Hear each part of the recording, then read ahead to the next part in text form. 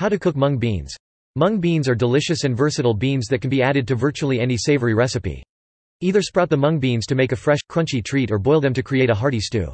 Mung bean sprouts can be added to sandwiches, salads, stir-fries, and noodle dishes. Cooked mung beans can be seasoned and eaten as a stew, added to curries, or used as a substitute in other bean recipes. Cooking dried mung beans.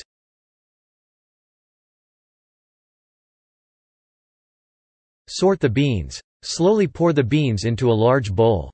As you pour, examine each bean carefully. Sometimes bags of dried beans can have small rocks and other inedible debris mixed in.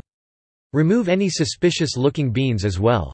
Old, wrinkled beans won't soften well and may hurt your teeth.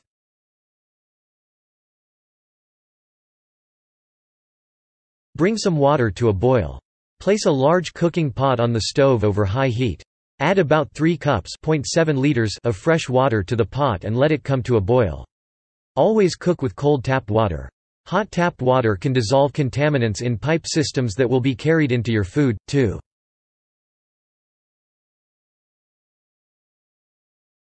Add the dried beans. Add 1 cup 200 grams of dried mung beans to the boiling water.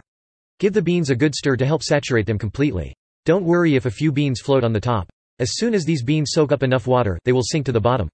If want to cook more than one cup of beans, use more water. For every cup of beans, you should boil 3 cups of water. One cup of dried mung beans will yield 3 cups of cooked beans, or approximately 3 servings.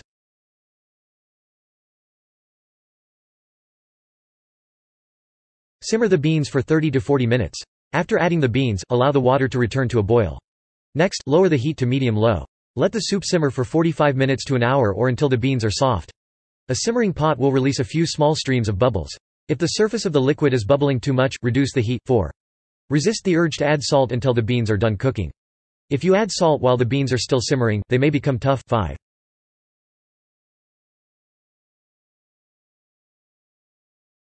Season the beans and serve. You can blend the soft beans to serve them as a hearty stew, drain them to create a healthy side dish, or add them to your favorite savory recipe. Mung beans can be seasoned with raw aromatics such as green onions and fresh herbs. Salt, pepper, and olive oil. Coconut milk 6. A cilantro, coriander, cumin, and ginger spice blend 7.